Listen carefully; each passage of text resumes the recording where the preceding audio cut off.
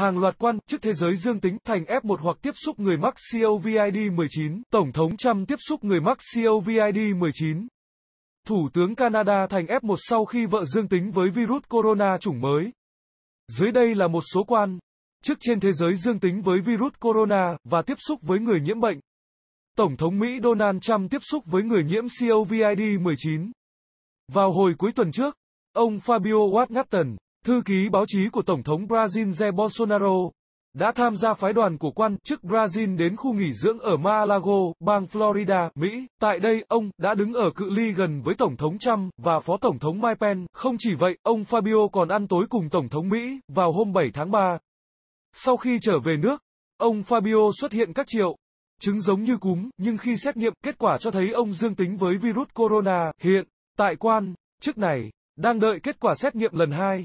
Tổng thống Brazil và một số quan chức cấp cao cũng đang được theo dõi xem có triệu chứng gì của COVID-19 hay không. Tuy đã tiếp xúc với người nhiễm COVID-19, nhưng Tổng thống Mỹ nói không quan tâm và chưa đi xét nghiệm. Tôi đã nghe nói về chuyện này. Chúng tôi không làm gì bất thường cả.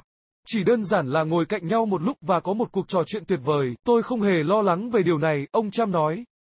Vợ Thủ tướng Canada dương tính với COVID-19.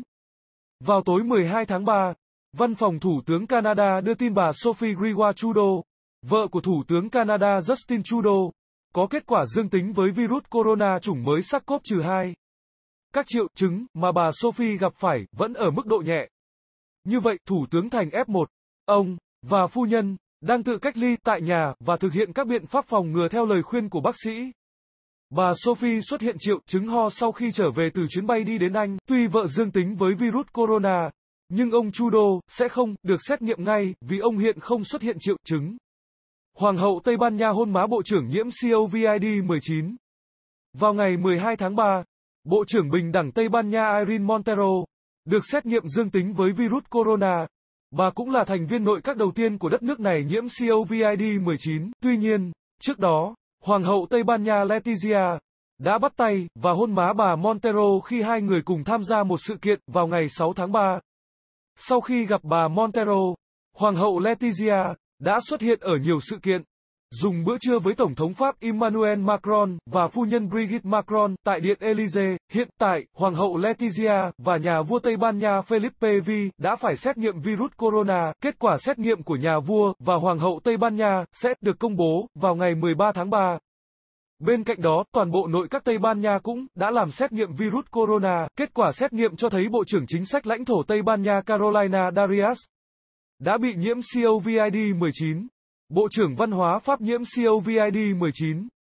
Theo báo The Straits Times ngày 9 tháng 3, Bộ trưởng Văn hóa Pháp Frank Riester được xác nhận dương tính với COVID-19 sau khi một loạt các nghị sĩ nước Pháp đồng thời ngã bệnh. Hiện, tại ông Riester vẫn khỏe mạnh và đang nghỉ ngơi tại nhà riêng sau khi phát hiện mình nhiễm bệnh. Theo một số thông tin từ báo đài nước này, năm nghị Pháp trước đó được chẩn đoán dương tính với virus corona và họ có thể đã bị truyền nhiễm truyền bệnh từ một nhân viên làm việc ở quán cà phê bên trong tòa nhà quốc hội. Người này sau đó được phát hiện dương tính với COVID-19.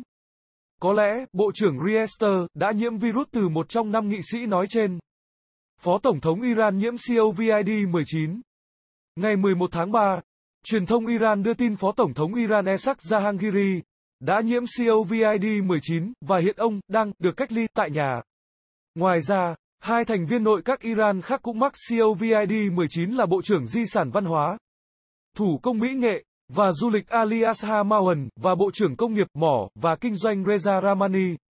Theo CNH nước, có tới 8% các nghị sĩ Iran nhiễm COVID-19, thậm chí một số quan chức đã tử vong vì căn bệnh này. Trước tình hình đó, cơ quan lập pháp Iran đã phải tạm dừng hoạt động vô thời hạn để ngăn chặn sự lây lan của virus corona.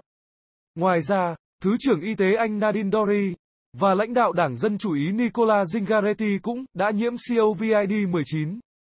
Xin hãy để lại ý kiến về giọng đọc của tôi, tôi sẽ tiếp thu ạ. Trân trọng cảm ơn quý vị và các bạn đã quan tâm theo dõi. Xin hãy cho một lượt thích chia sẻ và đừng quên bấm nút theo dõi kênh Xin chào và hẹn gặp lại.